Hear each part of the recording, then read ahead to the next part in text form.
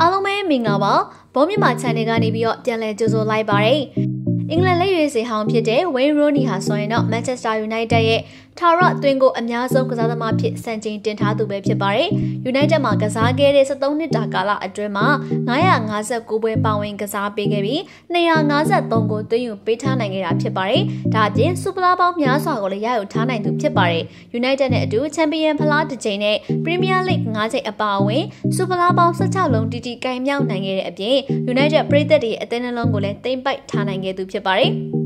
လက်ရှိအချိန်မှာတော့ဘောလုံးသမားပွားကနေအနားယူထားတဲ့ဝေရိုနီဟာအင်္ဂလန်ကလပ်ဒါဘီကောင်တီအသင်းမှာယာယီနီးပြဖြစ်တာဝန်ယူထားပါတယ်။ဘာဒလောကဖုတ်ဘောလိပေါင်းစုံရှန်နဲ့ကာစီနိုတို့ကိုအွန်လိုင်းပေါ်မှာကစားခြင်းနဲ့ဆိုရင် Golden Dragon Football Agent ကိုတရိယာလိုက်ပါအကောင့်တစ်ကိုငွေ2000ကျပ်ကစတင်ဖွင့်လှစ်နိုင်ပြီး unit အတွင်းထက်ကို24နိုင်ပြုလုပ်နိုင်ပါတယ်။ဖော်ပြပေးထားတဲ့ဖုန်းနံပါတ်တွေကနေတစ်ဆင့်ညဆန်စိတ်ချရတဲ့ Golden Dragon Football Agent ကိုဆက်သွယ်နိုင်ပါတယ် ရေရိုနီနဲ့သူ့ရဲ့ဇနီးဖြစ်သူကောလင်တို့ဟာ2008ခုနှစ်မှာတရားဝင်လက်ထပ်ခဲ့ကြပြီးတော့သားလေးယောက်ထွန်းကားခဲ့ကြပါတယ်။ဒီသားလေးယောက်ထဲကမှအကြီးဆုံးသားလေးကင်ရိုနီကိုတော့2009ခုနှစ်နိုဝင်ဘာ2ရက်နေ့မှာမွေးဖွားခဲ့ပြီးတော့လက်ရှိအချိန်မှာဆိုရင်တော့အသက်17နှစ်အရွယ်ကိုရောက်နေပြီဖြစ်ပါတယ်။အဆိုပါအကြီးဆုံးသားလေးကင်ရိုနီကိုပြီးခဲ့တဲ့ဒီဇင်ဘာ18ရက်နေ့မှာ Manchester United အသင်းကစာချုပ်ချုပ်ဆိုခဲ့ပါတယ်။ ကင်လေးဟာ United ပရိသတ်တွေနဲ့အကြမ်းတဝင်ရှိသူတစ်ယောက်ပဲဖြစ်ပါတယ်။ရိုနီပေါဝင်ကစားခဲ့ United ပွဲစဉ်တွေကိုမိခင်နဲ့အတူပွဲကြည့်စင်မော်ကနေလာရောက်အားပေးလေရှိသလိုစူပလာအောင်ပွဲခံတဲ့အချိန်တွေမှာလည်းလိုက်ပါလေရှိပူသူဖြစ်ပါတယ်။ကန်လီဟာ United နဲ့လက်မှတ်ရေးမထိုးခင်မှာမြို့ကန်ပြိုင်ဘက်ဖြစ်တဲ့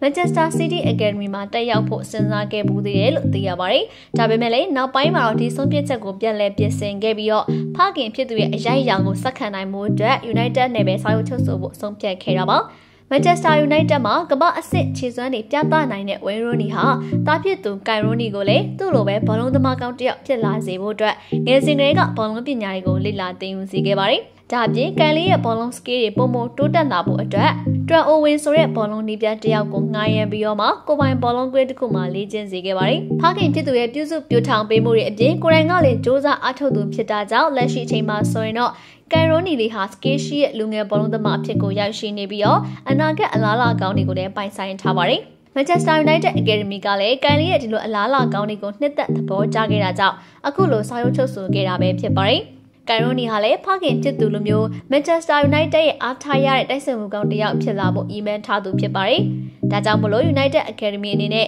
လက်မှတ်ရေးထိုးခဲ့တဲ့အခမ်းအနားမှာလည်းဖခင်ဖြစ်သူဝစ်ဆင်ခဲ့တဲ့ကျောင်းနံပါတ်30ကိုပဲရွေးချယ်အသုံးပြုခဲ့တာဖြစ်ပါတယ်။ ကိုင်နဲ့ United Academy တို့စာအုပ်ချုပ်ဆိုခဲ့တဲ့ဓာတ်ပုံတွေကိုတော့ဖခင်ဖြစ်သူဝင်းရိုနီကသူ့ရဲ့ Instagram အကောင့်ကနေအခုလိုမျိုးမျှဝေထားပါတယ်။ဂုဏ်ယူစရာကောင်းတဲ့အနေတွေပါ။ကိုင်က Manchester United ရဲ့လက်မှတ်ရေးထိုးလိုက်ပါပြီ။ဆက်ပြီးတော့စူးစမ်းပါငါသားရေးဆိုပြီးတော့မျှဝေခဲ့တာဖြစ်ပါတယ်။ကမ္ဘာတလွှားက Manchester United ပရိသတ်တွေကလည်း United နဲ့လက်မှတ်ရေးထိုးခဲ့တဲ့ Kai Rooney လေးကိုနှစ်သက်သဘောကျခဲ့ကြပါတယ်။